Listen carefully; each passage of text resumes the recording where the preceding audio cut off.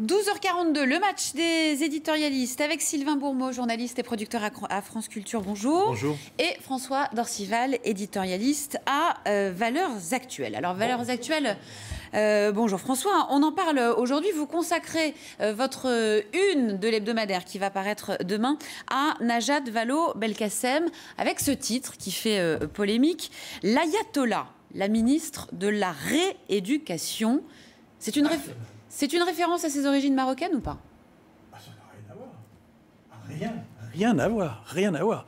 Ça, comme référence, c'est la rigidité de ses idées et de son idéologie. Ça, peut-être, c'est ce que nous discutons dans ce numéro, nous y consacrons pas mal de pages d'ailleurs, avec un portrait d'elle qui est un portrait extrêmement euh, respectueux, mais qui discute le fond de ses idées, et euh, même Denis Tillina qui parle de son sourire et de son regard de velours qui masque son idéologie.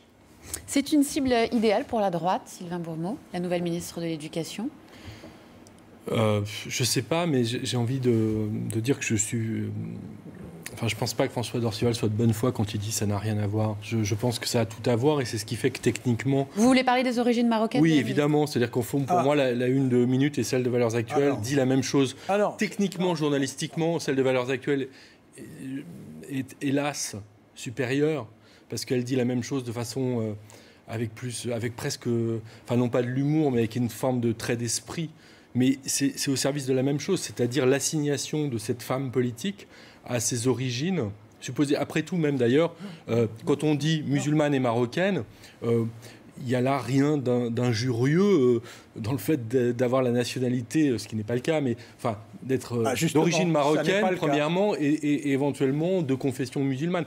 Ayatollah, ça renvoie à, du fanatisme, à de l'extrémisme. Ce n'est pas n'importe quel islam. Euh, donc le mot ayatollah, qui est euh, une, insulte, qui est, qui est une, très péjoratif, associé à, cette photo euh, de Najat Vallaud-Belkacem, moi, je, enfin, personnellement, je, trouve, je, trouve, ça, je trouve ça pire, pire que la une de minute. Voilà. Je ah bah, ça pire. Ah bah bravo. Je trouve ça pire parce que je trouve ça mieux fait d'une certaine façon.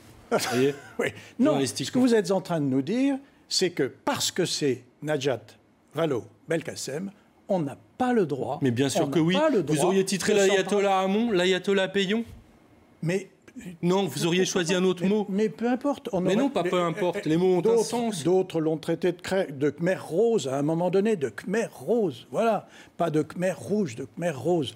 Il, est, stupide, mais au moins ça ne renvoie pas à, l'une de, des caractéristiques de parcours professionnel, des origines, etc. Vous voyez Donc c'est idiot, c'est juste idiot. Là, c'est c'est idiot et méchant. Franchement. Et, ça confine à, l'incitation à la haine raciale. Hein. Je, ah bah, trouve ça grave de publier euh, des, unes de journaux comme ça dans notre pays parce que ça jette de l'huile sur, sur, le, sur le feu d'un débat qui n'en a vraiment pas besoin.